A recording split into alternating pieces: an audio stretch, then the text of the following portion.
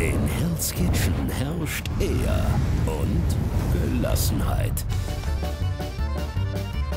Mein Puls ist jetzt weit über 180. Harmonie. Oh, ich baller dir gleich eine. Sauberkeit. Sieht ja aus, ey, wie in einem Affenscheißhaus hier. Qualitätsbewusstsein. Da reicht nicht mal eine 6 aus.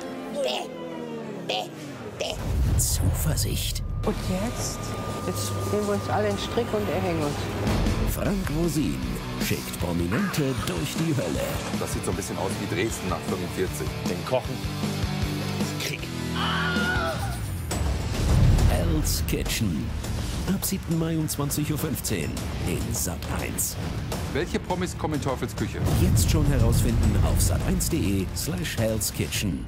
Das ist doch schizophren. Nein, nein, du- das du ist, bist- du, warum redest du mir denn dazwischen? Da muss ich dir wieder eine knallen.